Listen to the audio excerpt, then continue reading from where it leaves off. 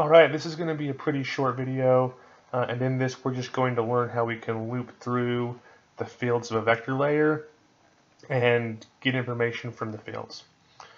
Um, so the first thing we'll do is let's go to our plugins and open up the Python console. And if you want to have the text editor on the side like I do, all you have to do is click this button here.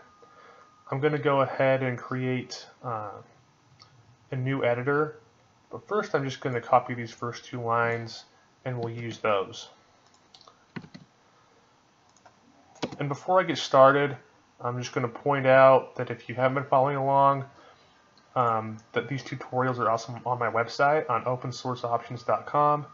Just go to tutorials, Python, PyQGIS, and the code for this one and the previous one uh, will be here, adding and deleting vector layer fields.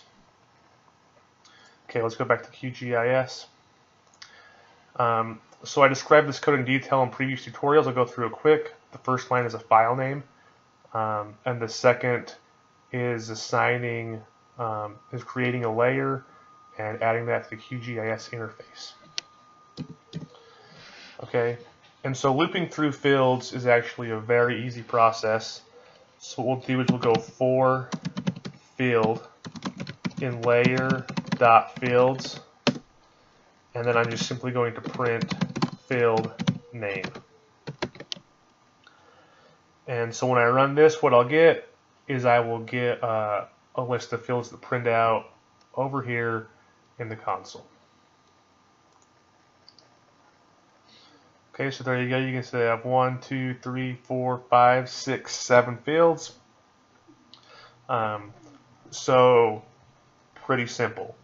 Um, in the previous tutorial, we go over a little bit more fields. This is uh, something I forgot to include in that that I think is very valuable. Um, so once again, it's a very simple step. It's going to be included online on my website.